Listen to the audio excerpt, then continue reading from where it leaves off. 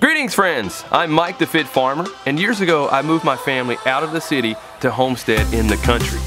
Join me as I share our adventures of growing stuff, striving to live a healthy lifestyle, and so much more.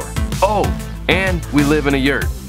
Don't forget to give this video a thumbs up, leave a comment below, subscribe to my channel, turn on notifications, and share this video with a friend.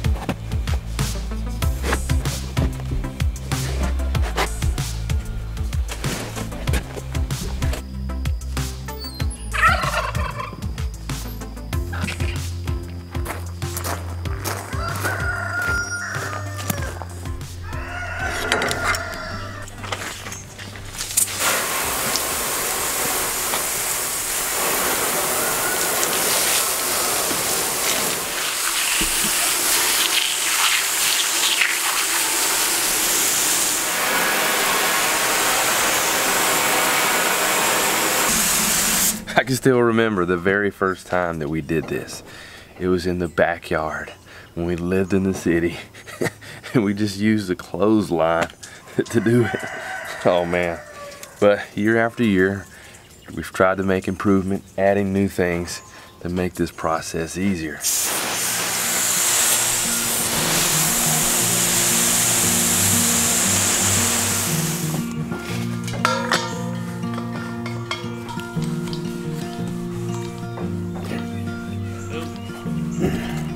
And some of the first things that I added was restraining cones as well as a plucker. And these were a huge game changer. The restraining cones made the dispatch station much easier, much calmer. And the plucker, instead of having to pull feathers and everything by hand, man, this sped up the process greatly. And we were using fold out tables, but we were also blessed with the ability to be able to upgrade to stainless steel tables, which also was a huge upgrade.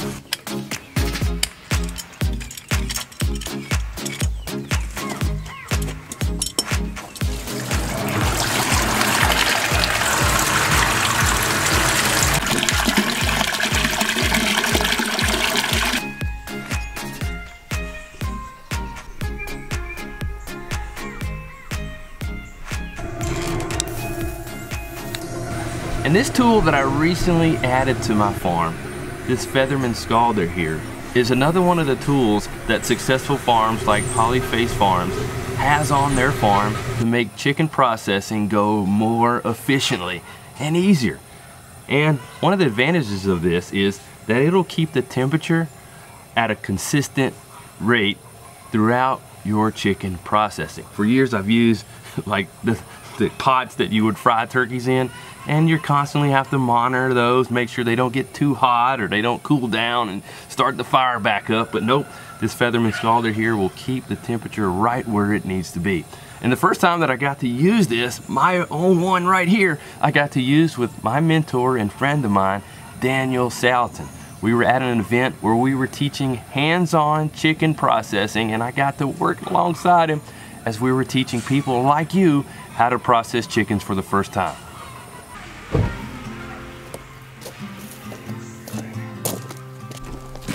latch is broken, so I have to do this kind of like oh, ghetto way or whatever. Gotta stick the screwdriver in here. Then I gotta push down here.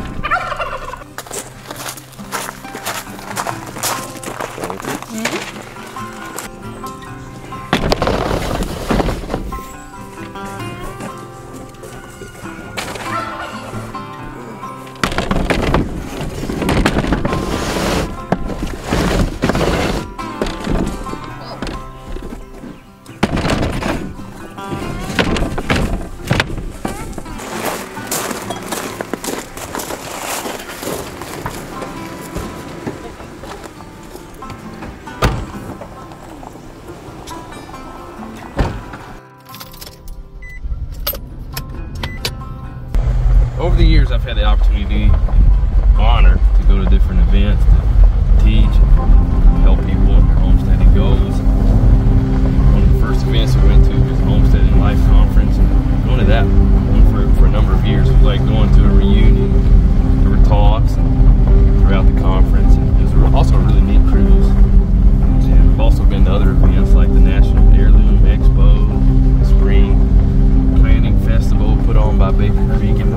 huge events and it's really neat. They got music playing and all kinds of stuff happening there. There's just so many people there. You like that truck? No? I'm dying that dog. You want to drive in that truck? Wow.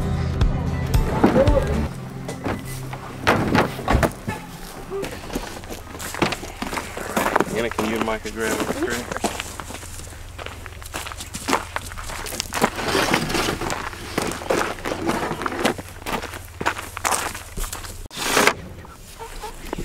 Prior to butchering chickens, I take away their food somewhere around 12 hours. So it's usually the day before, late in the day, I take their food away just so we're not having to deal with that as we process. So we did that. And I usually gather them up at night because chickens don't see well at night and it's usually easy just to gather them up right then. But we didn't do that this time. So we have to gather them right now. makes it a little more interesting. All right, there's one right there. That one just jumped right into my hand. There you go. I'm gonna name that one Big Fat. Big Fat.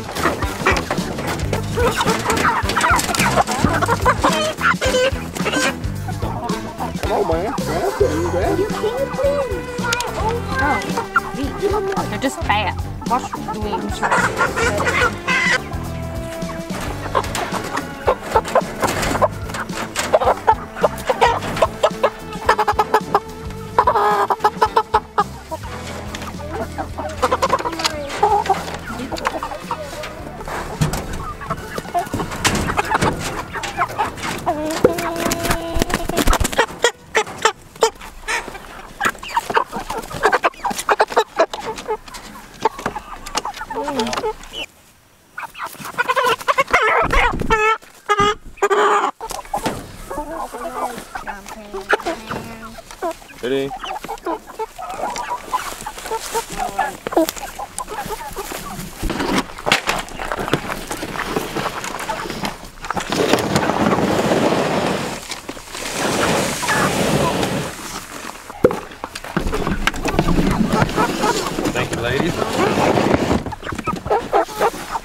Event that I had the opportunity to be a part of for a number of years was the Homesteaders of America event.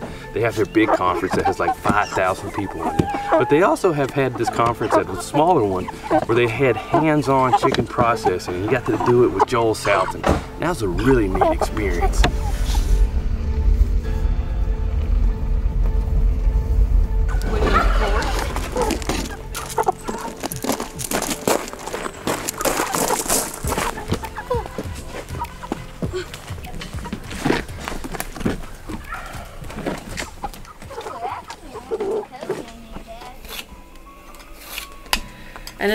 Event that we went to where they butchered animals was the boucherie down at Comfort Farms. And it was so much fun.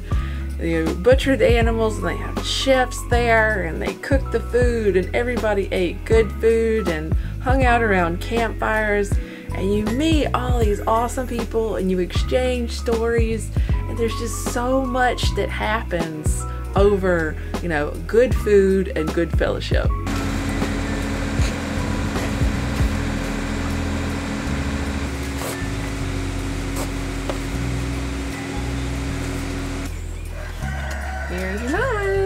All nice and sharp for me. Thank you Yep. very much. You're Thank you. welcome very much.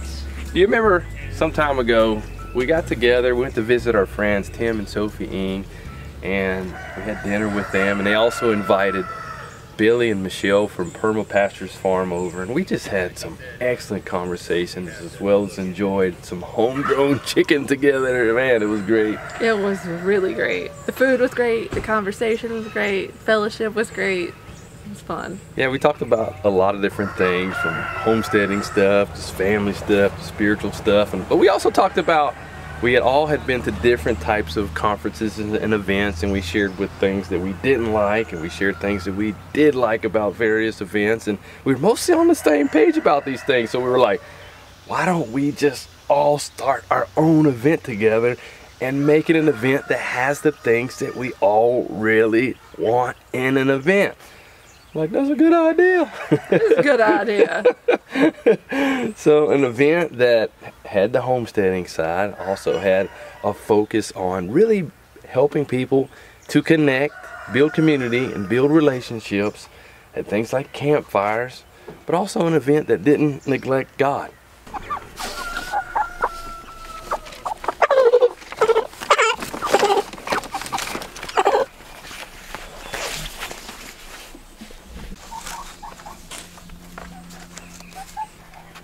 Pray like normal.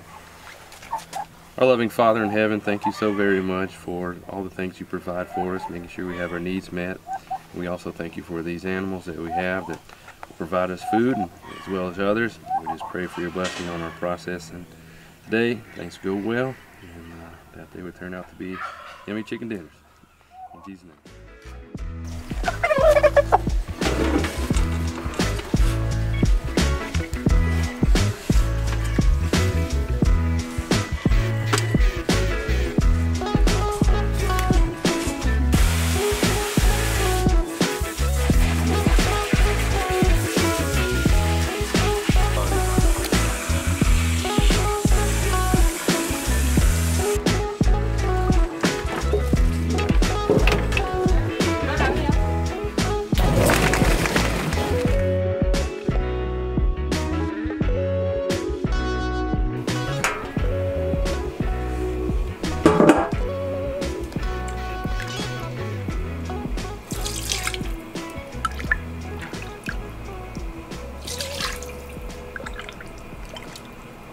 This is good bone broth from the carcasses of chickens that we raised here on the farm.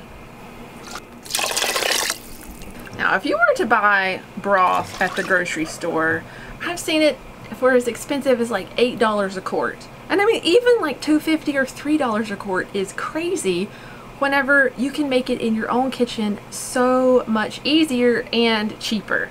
I mean, really, all it is is bones, water, and salt. Little apple cider vinegar. And speaking of our event, we want it to be more than just workshops. Yes, there's going to be workshops there and speakers, but we want it to be more of an experience.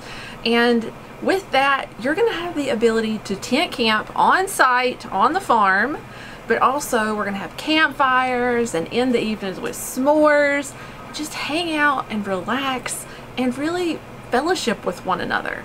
And during those times around the campfire, you're going to be sitting there with me and Mike and the other speakers because it's really important for us to be out there with you guys and foster that sense of community and build those relationships. And another feature that's important to me to have in an event is food. And I'm not talking about vendor food. Yes, we're going to have some vendor food, but food provided as part of the ticket price.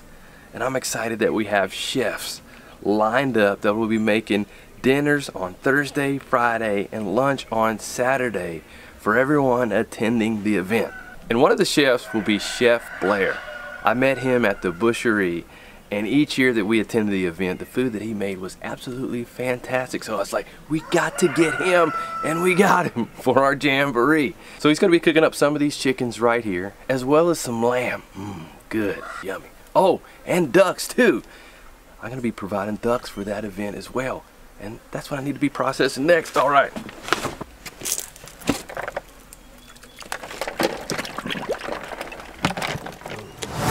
Which ones do we want to keep?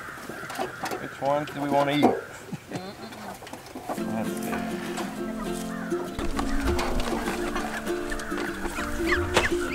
Him, not banned. So. I get most of my chicks, ducklings, and turkeys from Murray McMurray Hatchery because I've always had a good experience and the quality of the birds is just great. What else do you think I should do? Uh, These ducks here are black Muscovies. And right here, I'm separating the ones that I want to breed and make families with by placing a colored band on their leg. This will help me to avoid inbreeding in the future. Pretty little lady. And I generally keep the birds with the features that I want to continue. I'm looking at size, comes- oh, that's demeanor, and things like that. That's just the one that's on the ground. I think you And the other birds, well, let's just say they are future yummy chicken dinners.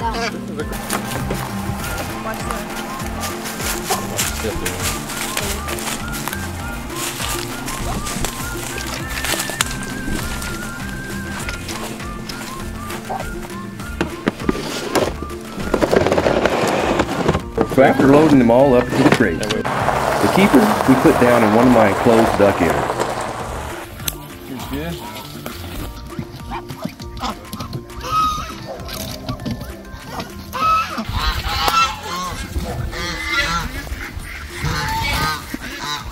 And then the others,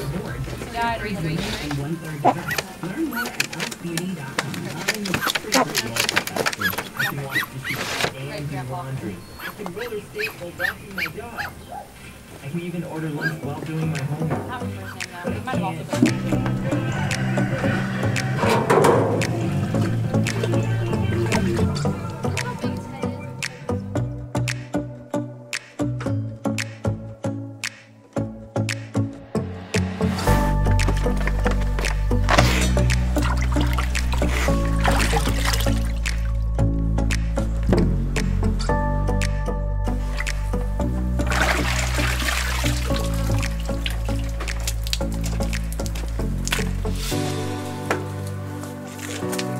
All right, just a little bit of quality control here before we bag these babies. Yeah, let's make sure it looks as pretty as we can. Oh, and I don't think we said yet when our jamboree is going to be. Well, call it a jamboree just because I think that sounds fun. It's not like conference, it sounds sterile. It's jamboree, it's fun. Festival sounds fun too, but I wanted something a little different. So thankfully, everyone else liked the idea too. But jamboree, it's different and it sounds like a whole bunch of fun. It's going to be August 29th through August 31st because this event is at Cloud9 Farms and we can only have a certain amount of people. And besides, we didn't want it to be this huge mega event where we couldn't really connect and interact with everybody. We wanted to be able to do that. So we only have a certain number of tickets available and we hope that you can come join us. Check out the link in the show notes below.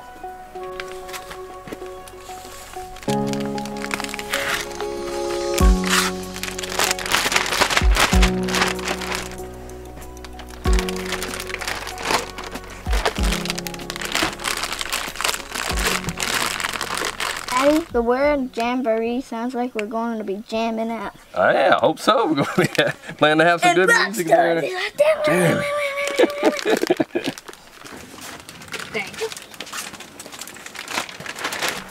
Oh yeah, and that reminds me of another feature that we plan to have.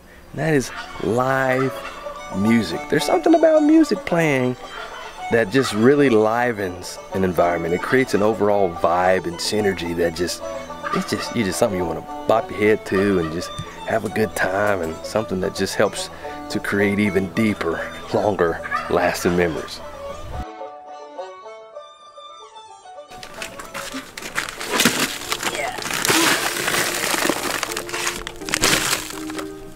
You can watch all the YouTube videos that you want, but it's not until you do something hands-on that you really learn that skill. Earlier this year, when I was at the APA conference, I saw people break down a chicken in as fast as 30 some seconds. I was like, wow, that is fast. Now, I'm working on trying to get that fast, but I'm somewhere around 60 seconds or so. But the point is, we all have areas that we can improve on and getting around others instead of just watching a video on TV can help us really take our skills to the next level.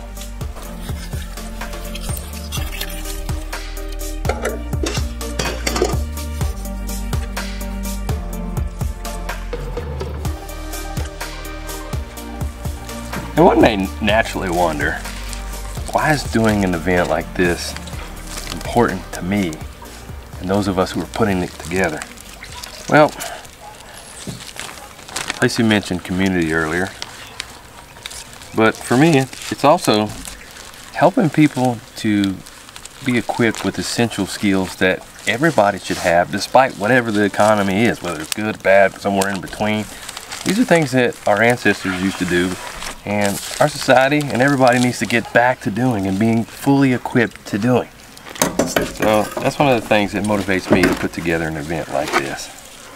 So right now as I'm standing here in the sun for most of the time processing we had shade from the tree, and it was overcast, but right now the sun is just beaming down right on my forehead.